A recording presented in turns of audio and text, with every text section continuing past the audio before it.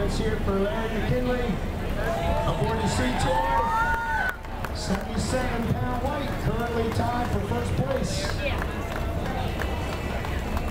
Larry is, uh, as I mentioned, coming in today, he was leading uh, the Billfish points. He's, he's always always in the top there. The Sea Toys has been one of our top 10 boats over and over again. He's a great angler.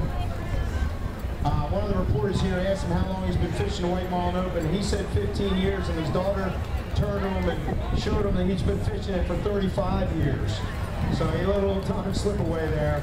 Uh, but he's never had a winner in the uh, the White Marlin category. So he said it's very, very exciting to be here on Wednesday.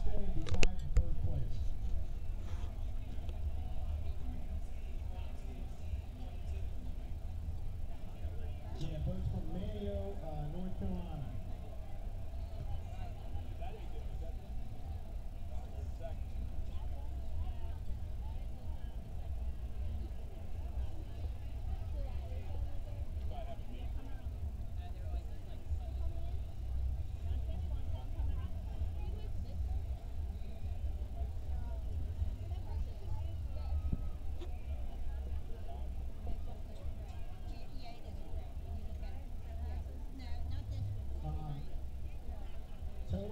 But we have heard that there's a uh, another good sized weight to be thrown in here. So, uh, you know, as you've already seen today, fortunes can change in a heartbeat here at the White Marlin Open.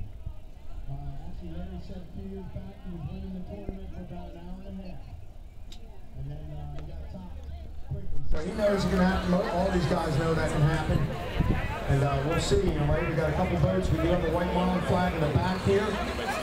And uh, we'll see what the uh, 7.30 and 8 o'clock bridge brings us.